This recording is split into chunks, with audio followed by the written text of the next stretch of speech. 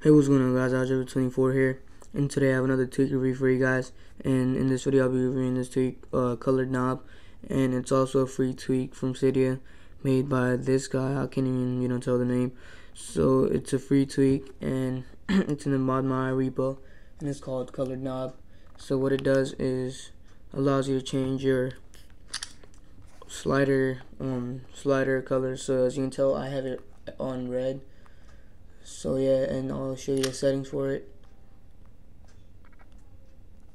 So you go into settings and go into colored knob enable that and then you, you only have three colors right now but I'm pretty sure in the future um in the future um the author will be updating it and you know put more colors. So let's try green. And you don't have to respring or anything like that you just simply turn it off turn it back on and you can tell it's green. You also got one more color. You also got um gray so that one looks really nice.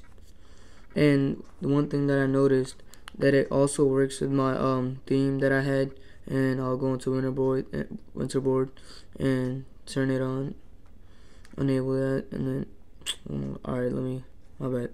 So respring and I'll show it show it to you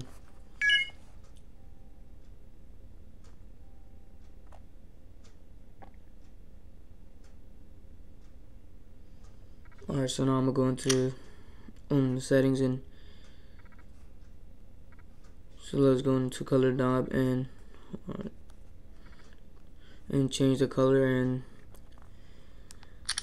and now as you can tell the color changed on my theme like on my theme slider so it works it, it probably works with you know some themes so it's red and let's change it to let's try green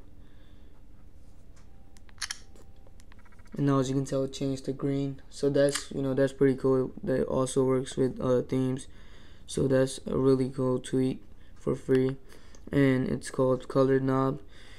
And so if you like this video you know rate comment subscribe. And thanks for watching